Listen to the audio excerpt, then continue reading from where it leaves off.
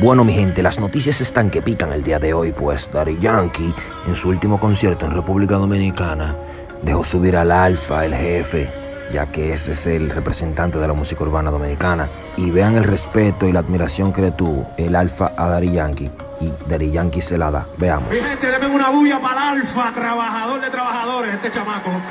Demasiado. Si hablamos de disciplina, este es un chamaco que está en disciplina. Te felicito mucho por toda tu carrera, papá. Gracias, Siempre. Gracias Siempre. por cumplirme mi sueño. Como todo dominicano, de grabar con él, de darle el apoyo.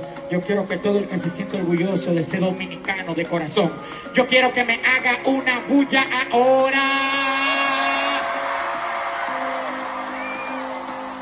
¿Qué hacemos? Tú eres el que sabe. Tú sabes, vamos a darle el pan. Vamos a darle otro clásico. Vamos DJ, allá. suénalo.